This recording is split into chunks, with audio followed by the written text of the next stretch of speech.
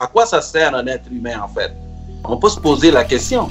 Il y a beaucoup de scientifiques aujourd'hui qui disent l'humain se comporte comme un parasite pour la biosphère parce qu'il détruit tout et n'amène rien. Rien. La Terre a perdu la moitié de ses espèces animales en 40 ans. L'extinction s'accélère, disent les experts. Et vous savez, je crois que nous recevons une sorte d'ultimatum de la nature. Si on ramenait l'histoire de la Terre en une journée de 24 heures, Sapiens est apparu sur la planète bleue à 23h59 minutes et 56 secondes. Ça veut dire qu'on a 4 secondes d'existence et en 4 secondes, on a réussi à massacrer la Terre de façon extraordinaire. C'est euh, un virus, le SARS-CoV-2, je pense qu'il ne décimera pas l'humanité. Il n'a pas intérêt à exterminer son hôte. Ce serait suicidaire de tomber dans cette radicalité. Mais l'humain, regardez la quantité d'espèces que nous avons fait disparaître de la surface de la Terre, définitivement. Et les autres qui sont sur le respirateur artificiel. On a le droit d'exister, on a le droit aussi de se développer, mais de façon durable avec la biosphère et en harmonie avec le reste de la création. C'est surtout ça.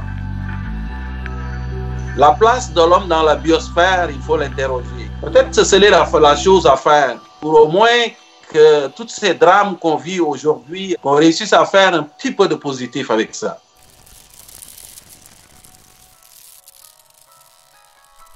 Pour l'humain, nous, on a manqué le, virage, je pense, c'est de ne pas avoir copié la stratégie des plantes. Peut-être que la compétition n'aurait pas pris autant de place dans notre imaginaire. C'est tout l'imaginaire occidental.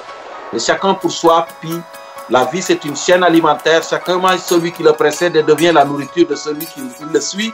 Et à la fin, il restera les grands prédateurs. C'est un peu ça le capitalisme et dans ses dérives. Mais les plantes, les plantes ont misé depuis le début sur la collaboration, le partage. Et c'est pour ça qu'ils ont proliféré autant. Les plantes collaborent avec les insectes pollinisateurs pour leur reproduction. Quand on descend dans le sol, les racines, ce sont des, des mosaïques de toutes sortes ils collaborent avec les champignons, les mycorhizes qui les aident à absorber des nutriments dans le sol. Les mycorhizes collaborent avec les bactéries. 30% des produits de la photosynthèse, ils peuvent l'acheminer dans la terre pour remercier les champignons. Ils remercient les abeilles, les pollinisateurs en leur donnant du nectar. Et pour collaborer avec les mammifères, les plantes ont inventé aussi les fruits. Un fruit, ça sert à rien. Une graine, oui, la graine dans le fruit, mais le, fruit autour, c'est juste un leurre pour dire aux mammifères, tiens, je te remercie de transporter ma graine plus loin, de faire proliférer ma, mon espèce. C'est ça, je pense qu'il faut euh, revenir au modèle des plantes, parce que c'est la planète leur appartient. Et peut-être que le modèle à copier, c'est celui des végétaux. Le mépris qu'on a pour les plantes, on le retrouve dans cette expression-là une végète, c'est une plante verte, c'est un légume. On le dit souvent, mais les plantes sont tellement plus puissantes que nous. La preuve, si toi, moi, on est là en train de se jaser en Amérique du Nord, c'est parce que en 1534, il y a un gars qui s'appelle Jacques Cartier qui est, parti de l'Europe, qui est venu ici. Et il cherchait quoi, Cartier?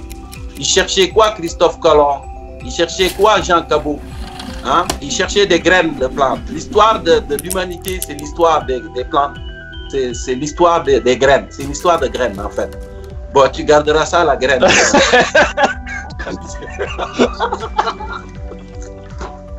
voilà.